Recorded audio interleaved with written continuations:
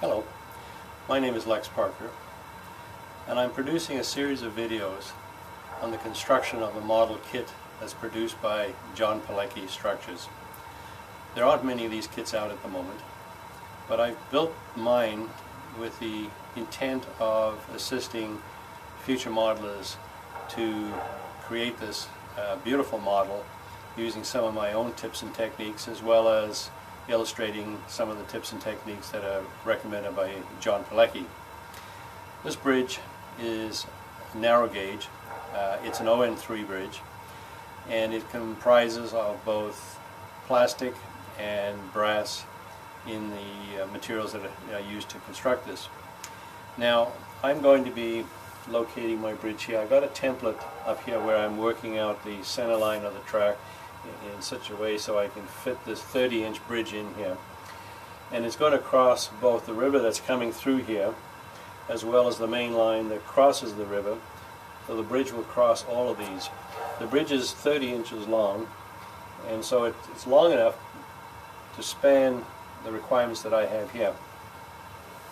The bridge is not simple to, to build but if you take all your time and you, you do it in small increments, as you assemble each of the steps, it, it will slowly evolve and be a, a, structure that I think you'll be very proud of. I'm certainly very proud of the model that I built and I look forward to painting it. Uh, presently I'm, going to, I'm working on uh, assembling the, the roadbed, the ties and the, and the rail that will be going on it. Um, the bridge will then be sitting on abutments at each end. There'll be stone abutments. And C.C. Crow are producing uh, plastic castings for the abutments, and they follow very accurately the abutments uh, at, at Cimarron.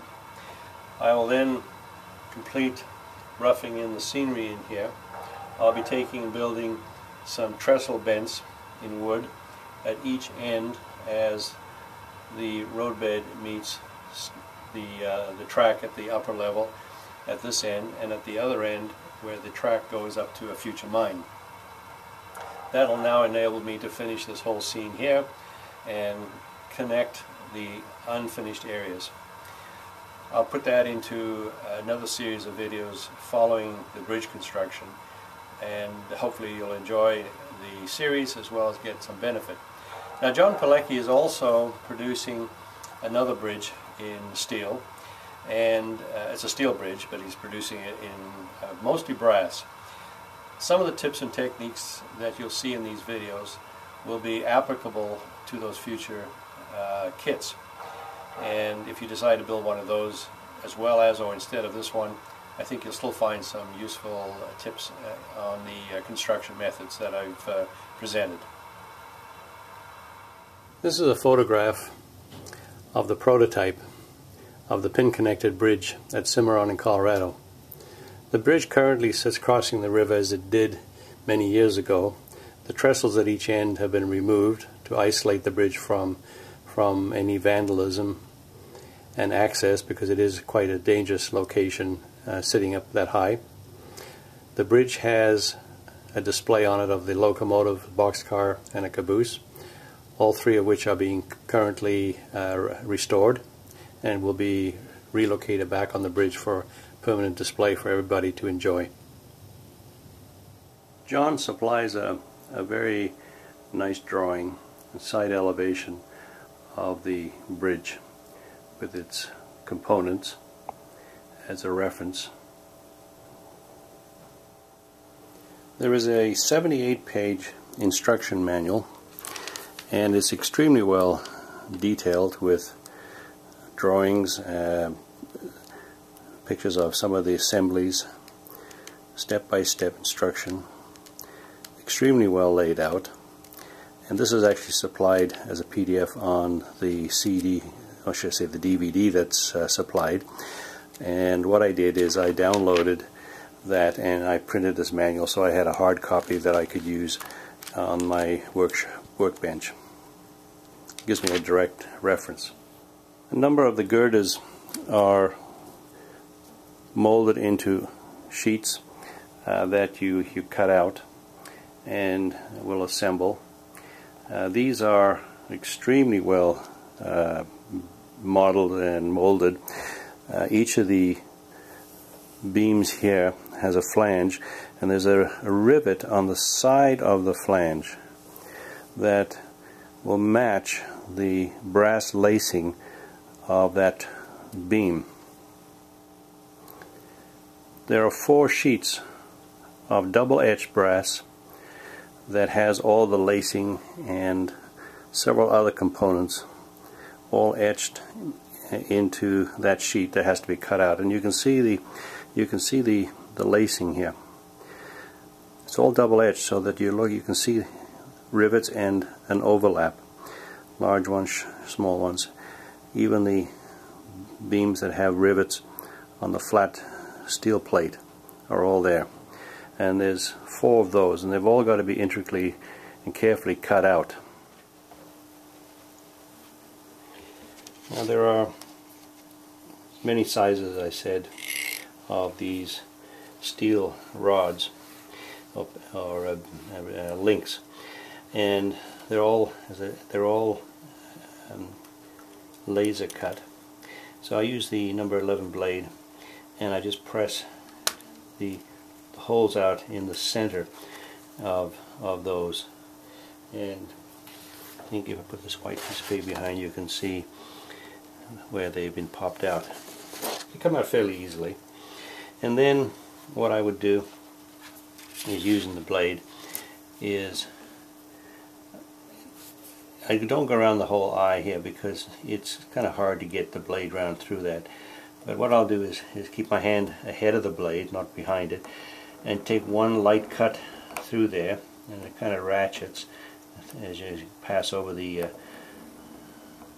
all the little holes that are done from the tool. So then cut that out. And then I, what I, at first I was trying to cut these out in here to break them out, and, and that really didn't work. Uh, it, it, was quite difficult to get a nice smooth cut. So what now what I found is I've got that loose. So I just put the blade in there, and I just rock it back and forth a couple of times, and it pops right out. It'll it'll just snap instead of having to worry worry about cutting it. And the same thing here. Just pop it over a couple times, and there it is. Very simple, nice, clean piece. Um, little bit of burring around it, but once it's painted, I don't think you'll see anything. If you want to take the extra time to just run a file around, take some of those edges off, you certainly can. These are the floor beams and there's a sprue at each end and and a sprue across the center so you actually have four uh, beams. These are the cross beams that carry the deck and the side of the vertical beams. What we're going to do is separate those. Now these are very very delicate. It's very very fine. The plate on the top and these angle irons here are very very thin. They're very much to scale. And can easily be bent over if you're pressing too hard. So what I do is I'll take a, a square and I'll use a zona saw up against that first plate and I will cut through just gently sawing through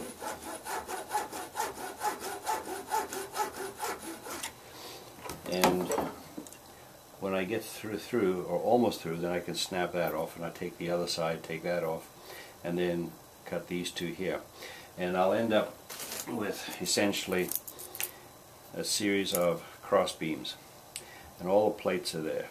Um, rivet details, even on the bottom edge. It's extremely well detailed and, and very much to, to scale. Uh, later what I'll then do is take a sanding block on a, on a square and I'll sand that so that that is smooth and square to the top surface. Now the other thing is all these pieces need to be dressed because it's, it's so fine and well detailed and cast that sometimes there is a little bit of flashing on the bottom edge and I like to use this tool here this is a little sanding block I've rarely had use for it, but this is one of the first times that I've actually got a great use for it. And I'll carefully sand those corners to take that tiny bit of burr off. Now there's a plate on the bottom here and here, so I'm going to have to be very careful not to remove it. So I'm just going in between the two and cross sanding and just taking and I'm working against a white background here. And you mentioned to you uh, at another time, I like to put a, a white sheet of paper, bond paper, across my work surface because the white background uh, enables me to see a lot of what I'm doing, finding parts especially. But when with black castings like this, you get this nice sharp contrast between the two materials, so you can see where these edges are. Now on the opposite side, there there isn't a plate that's on this edge, so we can take a broad base, and this is on a, on a this stick here has a solid uh, backing behind the sandpaper. So I've got a full block of sanding. I can take and take that burr right off of there so I have a beautiful smooth surface and I'll do that to every one of these.